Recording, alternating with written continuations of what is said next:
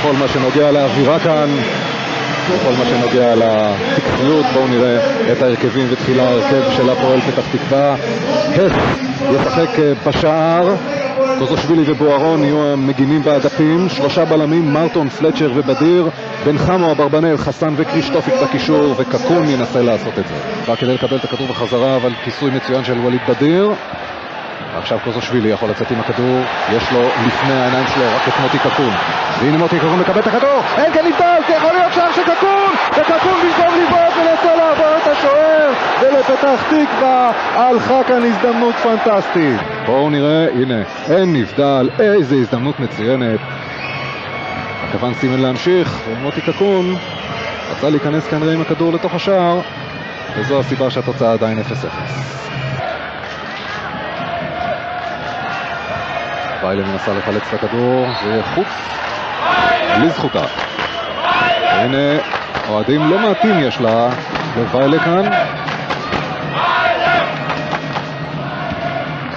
וקוזושווילי מחכים.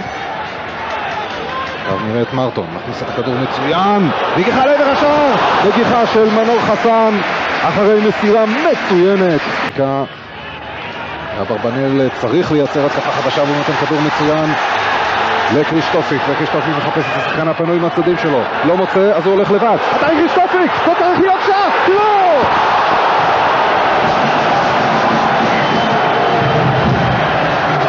מהלך כזה חייב להיגמר בשער.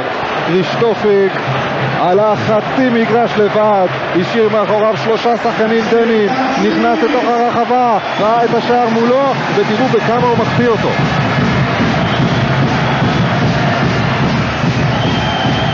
מן הכלל, אנדרי קישטופיק. השחקן הסלובקי של אה, פתח תקווה, בן 31, ריצה מצוינת לאורך מחצית המגרש. ועזרה נהדרת, גם מצד קקון, גם מצד חסן שרצו מגיע מאחור. המגן שלו נותן לו, ונותן לו שוב, והנה הכדור של בוארון, ומי ימשיך את זה? אולי קוזושווילי, וקוזושווילי פנימה, זהו חסן, חסן עבר את השוער!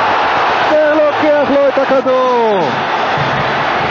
שגיא, בדקות האחרונות עושה רושם כאילו ויילה נותנת והפועל פתח תקווה לא רוצה לקחת. מחלת המחלות של הכדורגל הישראלי, חוסר החדות מול השער.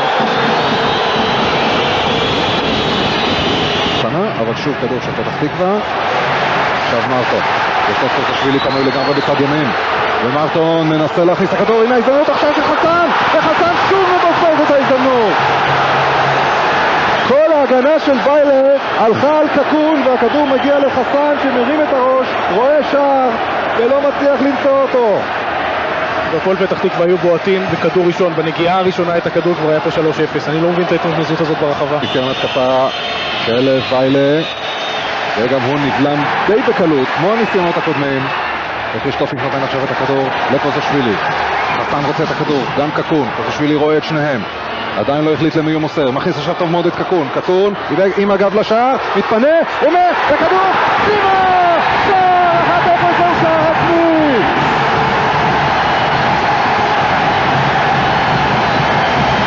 דקה 32, והפועל פתח תקווה משיגה את השער שלה מוטי קקון עשה את העבודה כאשר קיבל את הכדור בגבו אל השער מהמגן שלו. נתן עכשיו את הנגיעה מעל השוער זה פוגע בעמוד, פוגע בבלם שולץ מספר 13 ונכנס פנימה. שער עצמי של שולץ אבל המבצע היפה הזה שייך לקקון.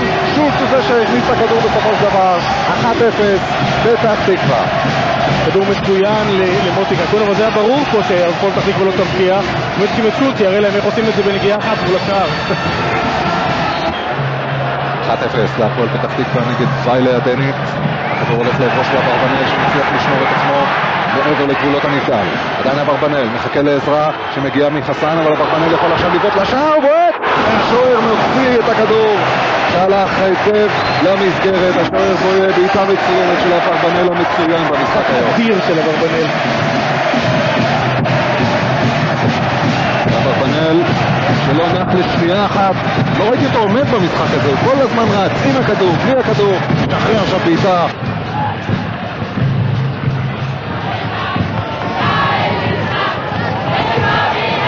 הבנים אה, בפיגור על המגרש, אבל ביציע הם שרים, כאילו שהם לקחו את הגביע. אה, יש לנו קצת בעיה בזמן האחרון, אנחנו קצת מחמיצים יותר מדי. אבל uh, אני מקווה שנשפר את זה. שרק תישאר התוצאה הזאת עד הסוף. והנה מנור חסן, השוער יוצא מן השער, מנור חסן יכול לעבור אותו, מנור חסן עובר, יש שם עוד מגן, עופרי מחכה למסירה ומנור חסן עכשיו הולך לעבר השער והרחקה כמעט מן הקו. שולץ, פרושבילי הולך אה, לכדור הזה, או-אה, או-אה, או-אה, זה אדום, זה אדום.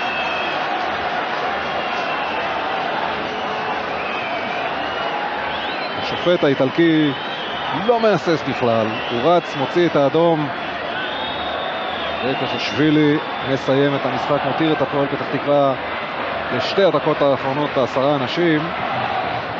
אני לא חושב שיש ויכוח על האדום הזה, וגם קוז'שווילי יודע שהוא לא היה צריך לעשות את השטות הזו. נורלונד הוא האיש שחטף את המכה ברגל, הפועל פתח תקווה אה, תוציא עכשיו את אה, מנור חסן ותכניס אה, במקומו את יניב חרמש. והנה השריקה! הפועל פתח תקווה עוברת את ויילר והיא תשחק בסיבוב הראשון בגביע הוופא. המשחק הראשון שלה יהיה ב-16 בספטמבר. את היריבה, הפועל פתח תקווה, תדע בהגרלה שתהיה ביום שישי בסוף השבוע הזה בז'נבה. 1-0, שער עצמי של אה, הבלם שולץ, אבל אה, מלבד השער העצמי הזה, ראיתם יחד איתנו, היו להפועל פתח תקווה הרבה הזדמנויות טובות לכבוש, הם לא עשו את זה, אבל זה כבר לא חשוב. הפועל פתח תקווה מנצחת כאן 1-0 ועוברת לסיבוב הבא. שתי מחציות מצוינות של הפועל פתח תקווה, מחצית ראשונה מצוינת מבחינה התקפית שבה הגיעה לשלושה ארבעה מצבים, מחצית שנייה מצוינת מבחינה הגנתית, הדנים לא הגיעו אפילו למצב אחד. כל הכבוד לניר לוין. אוקיי, כל הכבוד לניר לוין, אז אנחנו רוצים ללכת אל מירי נבו יחד עם ניר בבקשה. אז ניר, אם לא בליגה, לפחות בוופא. אה, כן, אה, זה בהחלט אה, איזושהי נקודת זינוק בשבילנו אחרי הפתיחה האומללה אפילו בליגה ובגביע הטוטו. אני חושב שזה, קודם כל השחקנים הוכיחו שאנחנו לא ראויים להיות במקום שאנחנו נמצאים בו בליגה ואני מקווה שאנחנו נמשיך בדרך הזאת שהתחלנו בה היום. אחד הדברים שמאוד אפיינו את המשחק הזה זה בעיה בנגיעה האחרונה. ראינו הזדמנויות מרהיבות שבסופו של דבר לא הגיעו אל השער. אתה בתור חלוץ גם בוודאי הרגשת בזה. מה בדיוק הבעיה? אה, את צודקת, היו לנו בעיות בעיקר בחצי הראשון, בנגיעה האחרונה, בסיום מול השער. אנחנו נצטרך לעבוד על זה. אה, יש משחקים שאפשר לשלם על זה ביוקר, למזלנו הפעם זה לא קרה. זה קשור בריכוז, בביטחון, בחדות. אה, אנחנו, אנחנו נשפר גם את העניין הזה, ואני שמח שלמרות הבעיה הזאת ניצחנו. זלבס, שיהיה בהצלחה בשלב הבא. תודה רבה.